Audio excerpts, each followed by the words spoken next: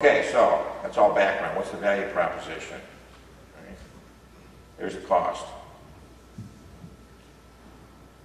And you go, wow, that ain't cheap. That ain't cheap. So what's the benefit? When I do uh, the uh, certifications, I take a lot of notes.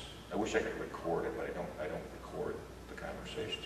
But I take a lot of notes, so part of the justification is the feedback that you get from managers. This is managers talking to me about how wonderful their folks are.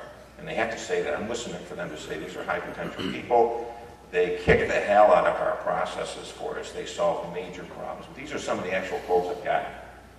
I'll just, just quickly uh, run through some of these. This is stuff I'm looking for. I love this one. He has supreme depth, is scary smart. That was the vice president of operations, scary smart. Cool. Scary smart, right? Complete respect of the managers. This, this particular MBB was basically leading the program for the, for the uh, senior in the organization, which is really cool, really cool role. Right. Talks about communication skills. People, the, MBBs, the good MBBs that are good trainers are, are referred to as people magnets.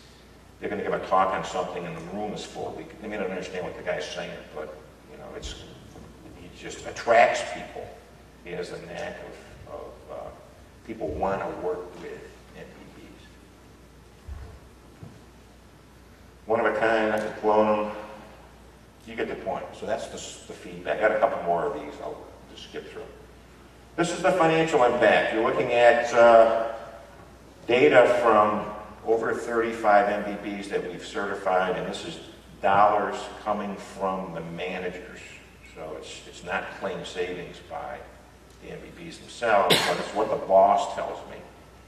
And I couldn't resist throwing in a bunch of statistics. What can I say? Average savings across the 35, $2 million. And this is, on, this is on an annual basis. What I ask the managers for when I'm doing the certification is how much money has this person saved in the last year on personal projects. So these are projects that the MBB personally leads.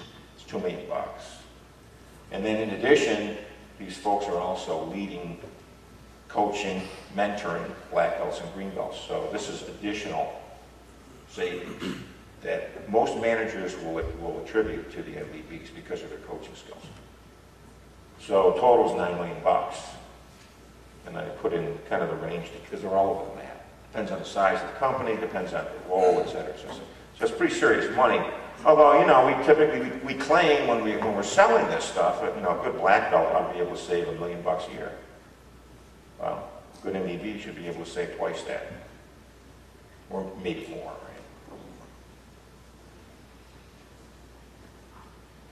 If you take the cost of the MBB program into account, that ain't a bad return over 200x. So yeah, it's expensive. We are the high price spread. Program's the best program on earth, the best program in town. And the returns are, and this is real stuff. Say I didn't make any of this stuff up.